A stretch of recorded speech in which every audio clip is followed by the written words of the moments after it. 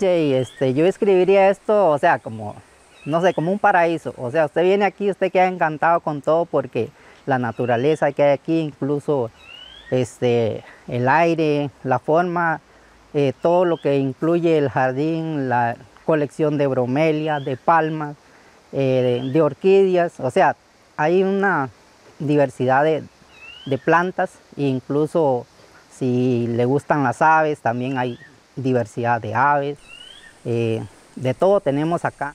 Este jardín es uno de los principales jardines, digamos, en el país. Eh, tiene una colección de palmas bastante grande, bromelias, eh, heliconias, son colecciones de las más grandes que hay. Y tiene una, un buen este, número de colecciones de plantas tropicales. Este jardín es eh, un paraíso de plantas. Tenemos una colección de como 3.000 especies de plantas, todas diferentes, de zonas tropicales, no solamente de Costa Rica, sino de otros lugares. Tenemos las plantas en su ambiente natural, en donde uno puede explorarlas desde solamente ver una hoja hasta ver las flores pequeñitas o las flores grandes y todo lo que llega asociado a esas flores, pero también lo que llega después de eso, que llegaría a las semillas, a los frutos, a comérselos, a dispersarlos y todo. Es un espacio donde uno aprende sobre la planta y todo su alrededor incluyendo desde el suelo hasta el aire. Bueno, mi nombre es Rodolfo Quiroz, eh, soy el encargado de la parte académica de la estación, Estación Biológica Las Cruces y Jardín Botánico Wilson. Se compone de dos unidades grandes, una es el Jardín Botánico Wilson, que es la parte donde conservamos plantas eh, de diferentes eh, lugares del mundo tropical, principalmente nativas de Costa Rica, y la parte más grande, que es la parte de la Reserva Forestal, que se llama Estación Biológica Las Cruces. Es un área donde tenemos bosque primario, bosque secundario y áreas de eh, potreros abandonados que estamos en proceso de restauración y de regeneración natural. Nosotros tenemos el parche de bosque como más grandecito, digamos, es como el pulmón del, cantón de, San Vito de Cotobruz.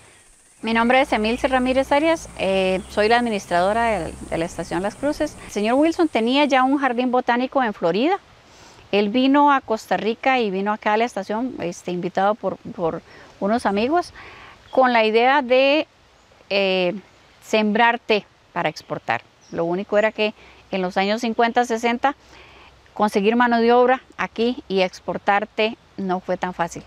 Entonces, al final, como ya ellos tenían experiencia con jardines botánicos, tenían muchos contactos de gente que, que tenía plantas tropicales, entonces decidieron hacer el jardín y empezar a recolectar, a viajar y a traer y, formar el jardín. Eh, el lugar es mantenido como un jardín botánico, eh, por lo menos esta sección donde estamos, y que este, lo que mantiene es eh, no solamente la colección de plantas, sino también tratamos de recrear un poco el ambiente natural en el que ellas viven y también que tengan la interacción con los polinizadores, con los dispersores, y con el ambiente en general. Entonces este concepto de restauración ambiental, por lo menos en el sentido de lo que lo vemos en el Jardín Botánico, inició con esos señores Wilson, eh, va, eh, allá en, los, en el 60, 61, cuando ellos vinieron y se establecieron aquí ya.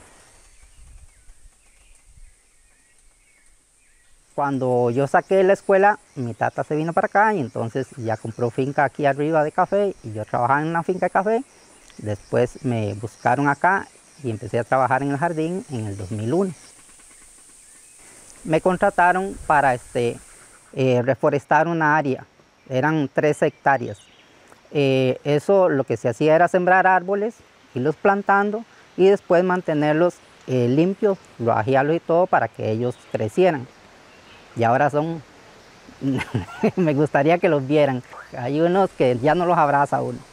Este, mi nombre es Jesús Marchena Matarrita y yo soy encargado de los viveros de acá del Jardín Botánico Wilson. Aquí, bueno, aquí yo me encargo de todo lo que es la colección de las plantas del Jardín Botánico. Entonces yo lo que hago es este, ponerles número de ingreso cuando se ingresan acá, se saca foto, se escanean las flores y para luego identificar la planta. Entonces yo soy el encargado de todo, llevar los registros de cada planta que hay aquí digamos, en los viveros. Sí, sé, ya he aprendido a identificarlas porque ya son bastantes tiempo que tengo, entonces ya más o menos uno ya las conoce Y también como uno pasa todo, bueno, casi la mayoría del tiempo con ellas, uno ya se va aprendiendo los nombres. Jay, sí, Jay, imagínese que es algo completamente diferente, porque Jay, uno está acostumbrado a trabajar en el campo, o sea, a mí siempre me han gustado las plantas, pero ya trabajar con orquídeas y este, plantas ornamentales es totalmente diferente a estar trabajando uno, qué sé yo, con café u otras cosas. Bueno, ante la problemática de la tala de los bosques y la fragmentación del ecosistema, la deforestación en general y ahora con el cambio climático también, eh, los ecosistemas están ha- haciendo más pequeños, los hábitats están cambiando, se están perdiendo y a la vez se está perdiendo mucho lo que es la flora nativa. La flora este, ocupa de todas esas características ambientales que le provee el bosque continuo. Cuando el bosque se tala, esas características se pierden. Entonces no hay suficiente humedad, no hay el- la temperatura adecuada, etc. Los nutrientes también se pierden.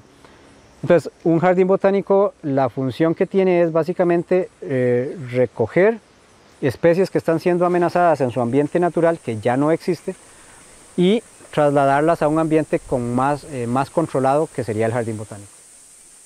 En el caso nuestro, estamos eh, protegiendo la flora de este valle de Cotobruz, que, que es bastante grande, en donde estamos colectando desde 300 metros al nivel del mar hasta la divisoria continental en el Parque Internacional La Amistad, y en donde eh, la idea es eh, encontrar poblaciones de plantas que están eh, amenazadas tanto por deforestación, por eh, el cambio climático, y que se puedan rescatar. Para el cantón y para el país en general y para las investigaciones, digamos, es una forma de ver, digamos, lo que está pasando en, en- muchas áreas, en muchas partes, ¿verdad? Que, que solo quedan partecitas pequeñas de bosque y qué sucede con eso. Y entonces es muy bonito para los niños, incluso para que conozcan las aves y conozcan lo que es la conservación y aprendan a, a respetar los bosques que tenemos ahorita, porque cada vez se nos van haciendo menos.